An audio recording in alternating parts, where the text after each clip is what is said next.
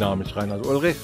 Ich betreibe die Gaststätte mit meiner Familie seit zwei Jahrzehnten hier auf dem Hofwürst. Wir bieten gut bürgerliche Küche und kalte Buffets und sämtliche Familienfeiern, was so anfällt, machen wir hier. Und ich darf Sie recht herzlich auf dem Hofwürst willkommen heißen.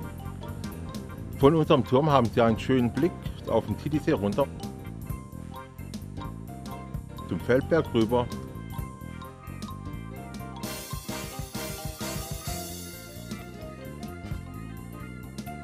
und einen wunderbaren Alpenpanoramablick bei schönem Wetter.